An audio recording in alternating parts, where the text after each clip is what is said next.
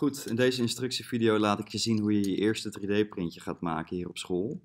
Ehm, zoals we mee hebben gekregen tijdens de les zijn de afmetingen van je print 3 bij 3. Dus dat is eh, ongeveer deze grootte. En wat we in dit voorbeeldvideootje gaan maken is het volgende. Namelijk een klein 3D-printje waar je je initialen op zet, of een ander woord. Ik heb hier nog een paar voorbeeldjes in verschillende kleuren geprint. En wat je hier niet ziet op deze voorbeelden, is wat ik nog wel wil doen, een, een gaatje erin maken. Zodat je hem bijvoorbeeld aan je sleutelbos kan hangen of zo. Of kun je er een leuk cadeautje van maken voor iemand. Je mag zelf weten wat je erop zet natuurlijk. Ehm, hoe gaan we dat doen? We gaan het programma SketchUp gebruiken daarvoor. Probeer gewoon goed met me mee te doen met de video, want waarschijnlijk heb je nog niet zoveel ervaring met het programma. Maar als je gewoon precies nadoet wat ik doe, dan komt dat sowieso goed. Ik maak deze even wat kleiner en dan ga ik het programma openen. Ik zet deze aan de kant en ik klik op SketchUp. Let even niet op dit, deze wil ik zo meteen nog laten zien, want daar zitten een paar fouten in die ik even wil benoemen. Wat ik doe is File en ik doe New from Template. Nou, vervolgens kies ik dus een template en degene die ik gebruik is Architectural Millimeters. We werken altijd hier op school in Architectural Millimeters. Vervolgens opent zich dit venster met het poppetje erin. En mensen willen graag het poppetje nog wel eens verwijderen gelijk. Ik zou zeggen, laten we nog even staan, want het laat gewoon goed de schaal zien. Nou, ik zoom er dus een beetje op in. En vervolgens ga ik hier beginnen met mijn uh, formaat maken. Nou, het formaat is 30 bij 30 mm en 10 mm hoogte maximaal. Dus ik pak het vierkantje, die staat hier. En ik klik één keer in dit hoekje. En dan trek ik hem naar buiten. Dus niet slepen, gewoon één keer klikken. En vervolgens um, kan ik intypen wat het formaat moet worden. Ik doe even dit een klein beetje omhoog zo, dan kan ik het laten zien. Als ik dit vierkantje naar buiten sleep, dan zie je rechts onderin mijn scherm, zie je hoe groot het aan het worden is, mijn vierkant, wat de afmetingen zijn. Nou, tijdens het slepen kan ik gewoon intypen wat het moet worden. Dus ik typ nu gewoon 30 en dan doe ik een dubbele punt waarvan de onderste punt een komma is. Dus alsof je een knipoog smiley zou maken. Doe ik de punt komma dus en dan doe ik weer 30. Dan zie je rechts onderin staan. Dan doe ik op enter en dan heeft hij het formaat gemaakt van 30 bij 30 mm hier als een plat vlak. Nou perfect. Nu klik je het poppetje aan met het pijltje en dan delete je hem gewoon met backspace of met delete. En vervolgens is die weg. Het was even om te laten zien dat de schaal klopt en we weten dat hij nu gewoon goed is. Dus nu zoom ik hier weer op in. En wat je nu ziet is dus een plat vlak daar. Nou, wat we net al geleerd hebben is je mag geen platte vlakken aanleveren als je gaat 3D printen.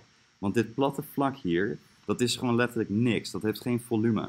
Wat we hier mijn voorbeeld zien, is dat het wel degelijk een dikte heeft, namelijk 3 mm. Nou, nu zeggen mensen ook wel eens van, ja, maar hoe zit het dan met papier of zo? Nou, papier is ook geen plat 2D-vlak. Zelfs papier heeft een dikte, snap je? En dit ding heeft geen dikte, dus als je dit naar een 3D-printer stuurt, dan snap ik er helemaal niks van. We gaan hem een dikte geven. Dat doe je als volgt. Je pakt de push-pull tool hier. En vervolgens klik ik hem één keer aan dat vlak. En dan trek ik hem omhoog. Maar tijdens omhoog slepen zie je hier rechts onderin dus weer wat de hoogte wordt. En wat ik doe is gewoon één keertje intypen 3 van 3 mm dikte. En dan doe ik enter. Nou perfect. Nu heeft hij dus 3 mm dikte gekregen. Nou, de basis staat. Nu hebben we letterlijk gewoon de onderkant al, zeg maar, gedesigned. Nu zoomen we weer een stukje uit. Ik kan ook de orbit gebruiken om de camera een beetje te draaien. Dat is deze. Wat we nu gaan doen is de letters erop zetten. Nou, dat is deze tool. Die klik ik aan. En vervolgens typ ik gewoon in wat ik erop wil zetten. Dus ik doe hier BK, gewoon mijn initialen.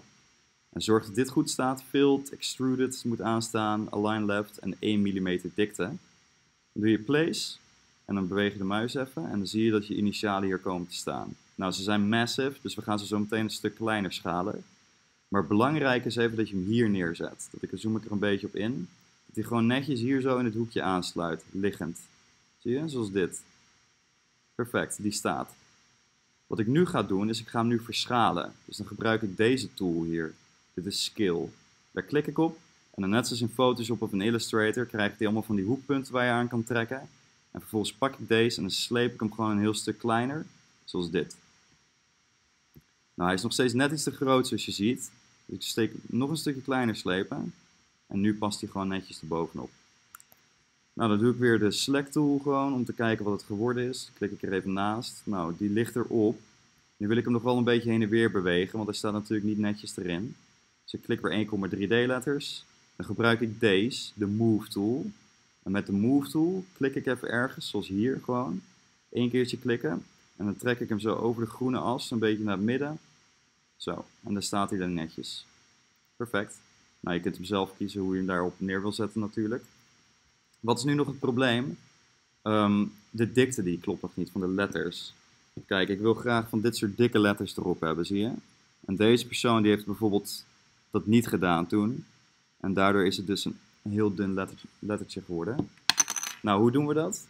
Je klikt met het pijltje één keer op de uh, initialen. En nu zie je dat hij ze allemaal selecteert, omdat het een groep is. Maar wat je nu doet is even dubbelklik erop. Dan zie je dat het scherm verandert, want nu zitten we in deze groep van de initialen. En wat je nu kan doen is de push-pull tool pakken, die we net ook gebruikt hebben. En gewoon de bovenkant van zo'n letter een stukje omhoog slepen, zoals dit. En dan typ je gewoon in 3, enter. En dan krijg je dit dus ook omhoog slepen, 3, enter, een dikte van 3 mm. Nou, perfect. En nu staan ze er netjes op. Check echt even goed dat ze niet zweven. Ze moeten er echt netjes op aansluiten. Nou, lekker. Dit kun je dus al sturen. Ik wil tot slot nog even een gaatje erin maken, zodat we daar uh, onze sleutelbos aan zouden kunnen hangen. Ik zit even te kijken waar ik doe. Nou, maakt niet zoveel uit. Het gaat even om het voorbeeld. Ik doe hem gewoon even hier. Nou, dat gaat als volgt. Ik pak bij het pijltje van het vierkantje, pak ik de cirkel. En die cirkel die zet ik even hier bovenop. Ik doe hem gewoon even hier. Het is even heel erg asymmetrisch, maar ja, het gaat om het idee. En vervolgens trek ik hier dus een, uh, grootte van een, uh, een cirkeltje. Nou, probeer even hier naar te kijken. Dan kun je een beetje de schaal inschatten, zeg maar. Ik denk dat dit wel oké is. Dit zou denk ik te klein zijn. Daar kun je niet zo'n ring doorheen krijgen. Dus ik doe ongeveer dit. Klik. En vervolgens gebruik ik de push-pull tool. Maar in plaats van dat ik dit omhoog ga pushpoelen, ga ik het naar beneden duwen. En op een gegeven moment dan zie je dit. En dan zegt hij ook, kijk als je dat blauwe en dat witte door elkaar ziet, dan zit het goed. Dan kan ik hem loslaten namelijk. En dan maakt hij er een gat in, zie je? Nu heeft hij er een gat in gemaakt. Ik laat het nog even één keer, zien. Eh, één keer zien. Ik doe even Command Z. Ik zoom er wat meer op in. Want je kunt het ook controleren. Namelijk de push-pull toepakken. Naar beneden slepen zoals dit. Op een gegeven moment zegt hij dit. Dat hij dat, die vlakken door elkaar heen duwt. Kun je even zo'n beetje met je muis en weer bewegen en erop wijzen. En dan zie je dit staan, on face. En on face is goed. Dat betekent dat als je hem loslaat, dat hij hem helemaal leeg knipt. Nou, perfect. Dan zit er dus een gat in. Controleer even of het goed gegaan is. Anders doe je even Command Z of zo en dan probeer je het opnieuw. Nou, helemaal fantastisch. Dit kun je gewoon 3D printen. Ehm, tot slot moet je hem nog even goed opslaan als een 3D printbestand. Je doet uh, niet file save as gewoon, want dan krijg je een sketchbestand zeg maar. Maar je doet export, want we gaan hem exporteren als 3D model. Daar klik je op en vervolgens heb je hier bij format staan stereolithography, dus STL. Nou, het STL-bestandstype is wat we gebruiken in de werkplaats om 3D-prints te maken. Mocht je dat niet hebben staan daar, STL, dan gebruik je deze, DAE. Maar in principe moet je gewoon STL kunnen gebruiken. Nou, dan geef je mijn naam. En dan geef je me even een locatie ergens. En dan heb je dus daar je STL 3D bestand gemaakt. Dan klik je op save. Of op export, sorry. Nou, perfect. Die stuur je naar je docent. Die gaat ze allemaal verzamelen. Ehm, tot slot wou ik nog even dat andere ding laten zien. Deze. Want dit is namelijk zeg maar wat fout kan gaan. Ik heb hier het voorbeeldje nog een keer. Maar hier zijn een aantal dingen die niet kloppen in het model. En wat we ook tijdens de theorie hebben gehad net. Ten eerste, deze lijn hier, dit ziet eruit zo van, oh leuk, ik wil daar een soort van kartelpatroontje op maken. Maar dat werkt helaas gewoon niet zo. Want dit zijn gewoon losse lijnen die dus helemaal niks doen die er staan. Ik kan er even op klikken. Dit soort lijntjes, dat doet, dat doet helemaal niks. Van die losse lijnen niks doen. Als ik die verwijder, dan gebeurt er ook verder niks. Zie het ligt gewoon plat op het vlak. Als ik daar zo'n kartelpatroontje in wil hebben, dan zou ik dus uh, dat daadwerkelijk een hoogteverschil moeten geven. Bijvoorbeeld zoiets als dit. Snap je? Dat kan hij wel 3D printen. Maar gewoon zo'n plat vlak hierop van een driehoek, dat, dat snapt hij niet. Dat doet helemaal niks. Dan zitten hier nog een paar fouten in. Namelijk, aan de andere kant van deze mooie solide letters die ik hier gemaakt heb, zie je dat ik hier een gat in heb zitten bij die K. Nou, dit is fout. Want op deze manier is het geen solide vorm meer. Het heeft geen inhoud meer, omdat het open is gemaakt. En nu is het helemaal hol van binnen en worden al deze dingen dus platte vlakken. En daar kan zo'n 3D-printer helemaal niks mee. Nou, tot slot wil ik nog de onderkant laten zien, wat ook wel eens mis wil gaan bij mensen, is dit. Soms dan is die onderkant helemaal open van onderen en maakt het dus het hele ding hol, waardoor dit allemaal niet uh, 3D-print kan worden. Dit laat ik even zien, want veel mensen willen graag even een eigen ontwerpje maken of zo, wat ze willen 3D printen.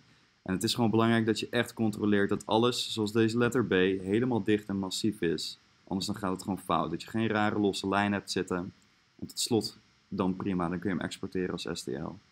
Hier zit nog dat poppetje in dit voorbeeld, die moet je echt even eruit slopen. Want anders dan krijg je zo'n 3D-print, zo'n pop erin te staan die, ja, waar je niks van snapt. Nou, perfect. Dit was dus even de instructievideo voor 3D printen. Succes ermee!